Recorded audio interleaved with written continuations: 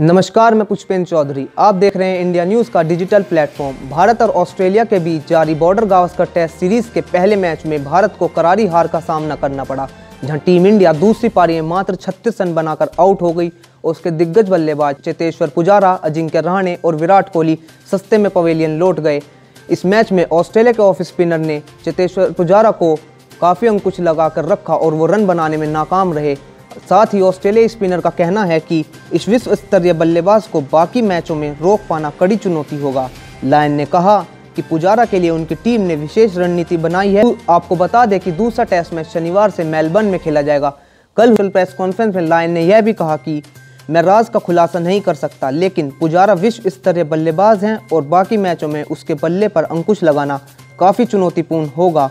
उन्होंने कहा हमने सीरीज़ शुरू होने से पहले ही उसके बारे में काफ़ी बात की। एडिलेड में रणनीति कारगर साबित होता देख अच्छा लगा, लेकिन आगे कुछ नया करना होगा।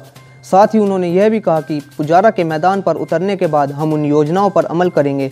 दुनिया के सर्वश्रेष्ठ खिलाड़ियों के सामने खुद को आजमाना हमेशा रोचक होता है, और पुजारा उन्हीं खिलाड़ियों में से एक हैं आपको बता दें लायन ने एडिलेट टेस्ट मैच में चितेश्वर पुजारा को तैतालीस रन पर आउट किया था और ऑस्ट्रेलिया ने यह मैच आठ विकेट से जीता था। नेथन लायन ने अपनी प्रेस कॉन्फ्रेंस में यह भी कहा कि अजिंक्य रहाणे और पुजारा के अलावा उनके उन, टीम इंडिया के पास के राहुल और मयंक अग्रवाल जैसे शानदार खिलाड़ी हैं जो विराट कोहली की जगह ले सकते हैं। उन्होंने यह भी कहा कि हमारे लिए काफ़ी चुनौतीपूर्ण होगा और हमें तैयारी पुख्ती रखनी होगी।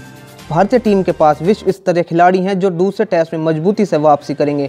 हम यह सोच कर नहीं उतर सकते कि उन्हें फिर से 50 रन पर आउट कर देंगे। अगर आपको हमारा वीडियो पसंद आया हो तो इसको लाइक, शेयर और कमेंट ज़रूर करें। साथ ही हमारे चैनल इंडिया न्यूज़ को सब्सक्राइब करना ना भूलें।